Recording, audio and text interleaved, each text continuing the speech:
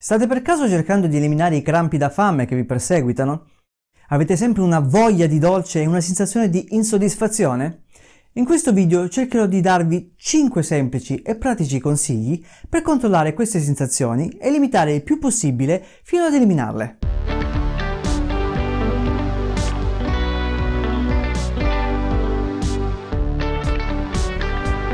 Ciao a tutti e bentornati su Health Me Food. Io sono Pasquale, il vostro Nutrition e Lifestyle Coach.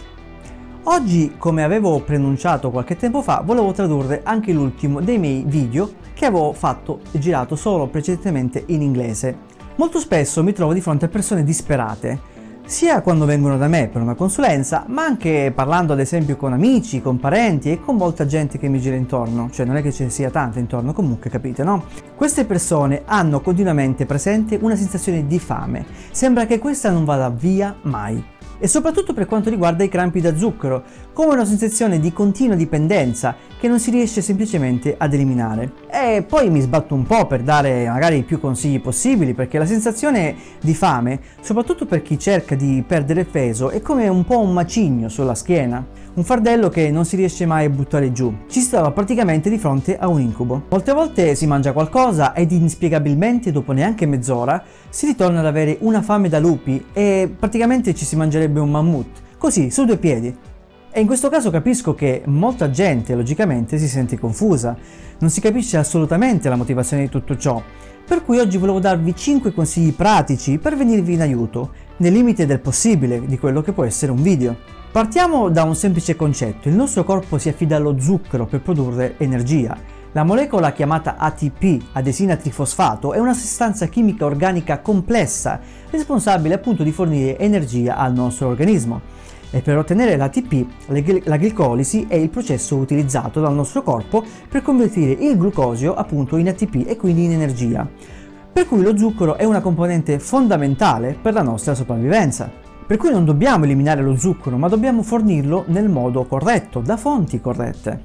Se invece arriva da fonti errate, le sensazioni di fame, stanchezza o depressione ed insoddisfazione tenderanno solo ad aumentare. Per cui vediamo ora di chiarire quali sono secondo me delle abitudini e dei consigli utili per poter sopperire a questo problema che ci impedisce praticamente di vivere una vita serena e al pieno delle nostre possibilità. Naturalmente non vi potrò risolvere completamente questo problema con un video e con questi semplici consigli. Ognuno di noi è una persona diversa e può avere diverse motivazioni dietro a questo problema, per cui prendete questi consigli con delle pinze. Consiglio numero uno è di consumare gli alimenti giusti. Il consumo di alimenti che bilancino i livelli di zucchero nel sangue e che quindi tengano sotto controllo la produzione di insulina. Sono quelli, diciamo, da preferire, ad esempio fonti sane di proteine, di grassi, di carboidrati e di fibre. Fonti proteiche come ad esempio i legumi, le uova, la carne con un contorno di verdure miste per fornire fibre, minerali e vitamine, carboidrati che vengono ad esempio da pane integrale, pasta integrale o riso integrale e fornire dei grassi sani come ad esempio i semi, le noci miste, l'olio extravergine d'oliva oppure dell'avocado. Così facendo terrete il carico glicemico del pasto a livelli ottimali e avrete un senso di pienezza e di soddisfazione che vi terrà sazi per un periodo di tempo più lungo. Il cibo per cui non creerà dei picchi di insulina perché in un mix ben bilanciato come questo, come appena detto, eh, che sia ricco di fibre, acqua, vitamine e sali minerali, questo contribuirà a rallentare l'assorbimento degli zuccheri all'interno del nostro organismo. Numero 2. Bere un bicchiere d'acqua. Quando avete fame molte volte si tende a confondere una sensazione di fame con una sensazione di sete. Vi spiego, questo accade perché il nostro cervello fornisce a noi degli impulsi che non sempre noi riusciamo a decifrare correttamente.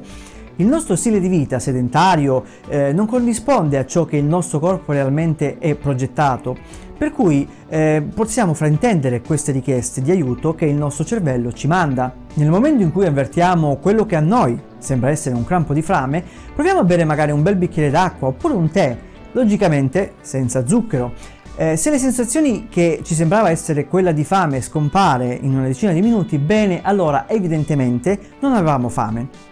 Per evitare questo tipo di situazione, bere costantemente acqua o liquidi durante l'intera giornata sarà un'ottima soluzione. Se siete interessati sull'argomento acqua, Stefano Vendrame qui su YouTube ha fatto una bella serie di video su questo argomento.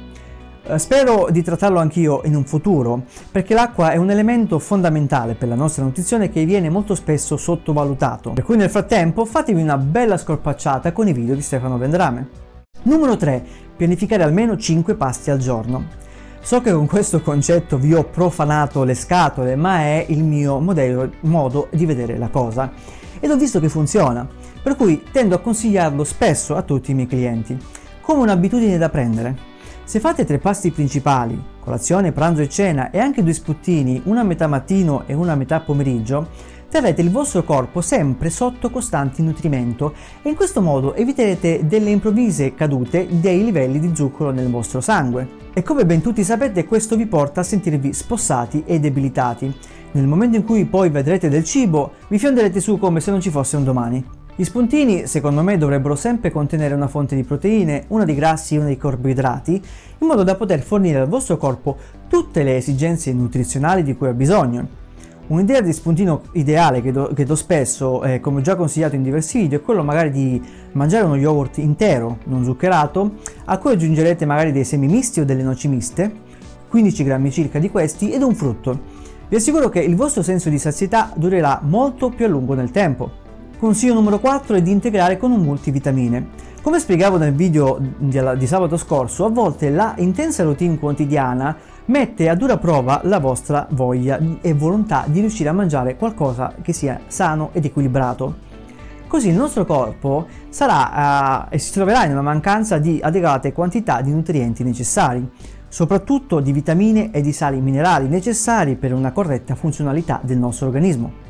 Un integratore multivitaminico preso giornalmente vi aiuterà sicuramente a ridurre il rischio di desiderare del cibo spazzatura, che può aumentare il livello di insulina velocemente e drasticamente, o di fondarvi ad esempio sopra degli snack, delle merendine o dei succhi di frutta carichi di zuccheri che non faranno altro che peggiorare la vostra sensazione di fame. Vi lascio nel link della descrizione un integratore che io considero di buona qualità, che sono quelli della BioCare, e inoltre vi rimando anche il video che ho realizzato di recente sugli integratori. Trovate il link da qualche parte qui di fianco a me.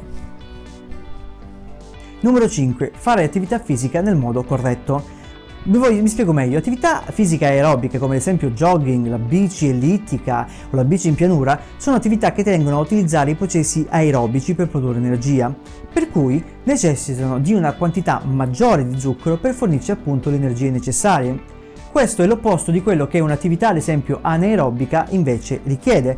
Aumentando questa necessità di energia per i processi aerobici aumenta anche la possibilità che eh, ci venga voglia di consumare degli alimenti che siano eccessivamente zuccherati o delle bibite gassate che sono ricche di zucchero e noi vogliamo evitare tutto questo come la peste bubonica. Per cui il mio consiglio per evitare di cadere nell'eccesso di zucchero e nella crisi di fame è quello di concentrarsi su attività anaerobiche come ad esempio, non so, esercizi che prevedono lo sforzo muscolare, quello esplosivo, come sollevare dei pesi, oppure allenarsi con degli sprint, oppure anche optare su esercizi un po' meno esigenti come ad esempio lo yoga, che porta anche degli altri benefici come la, una maggiore coordinazione e un rilassamento generale. Queste sono anche valide alternative. Questo naturalmente valido molto all'inizio quando ancora non abbiamo a pieno il controllo delle nostre azioni nel gestire la nostra alimentazione in modo corretto. Successivamente potete anche passare a delle attività di tipo aerobico. E voi soffrite spesso di crampi da fame? Avete una sensazione perenne di fame? Avete mai provato uno di questi consigli che vi ho appena dato oppure avete provato delle altre tecniche particolari per controllare la vostra sensazione di fame? Oppure avete anche mai consigliato un nutrizionista rispetto a questo problema? Fatemelo sapere nei commenti qui sotto. Come sempre vi ricordo che se ci sono argomenti particolari che vogliate che io tratti su questo canale, fatemelo sapere nei commenti qui sotto oppure inviatemi anche un'email all'indirizzo info-healthmefood.com e vi risponderò a tutti, prometto a tutti tutti, tutti. Vi ricordo che tutti quanti potete anche seguire i miei podcast audio su iTunes, Spreaker e Spotify nel caso non abbiate tempo di guardare il video ma vogliate solo ascoltare l'audio mentre fate qualcos'altro. Vi ricordo anche che potete seguirmi su tutti i social networks come Facebook, Instagram e Twitter e che in caso vogliate una consulenza in campo nutrizionale sono sempre qui a vostra disposizione. Per chi non vive come me in Irlanda, come sempre, potete anche contattarmi e consultarmi via Skype e potete anche visitare il mio sito internet www.healthmefood.com. Anche per oggi è tutto e vi lascio andare. Mi è rimasta solo la cosa più importante da dirvi che eat well, live well and smile. E ci vediamo la prossima volta.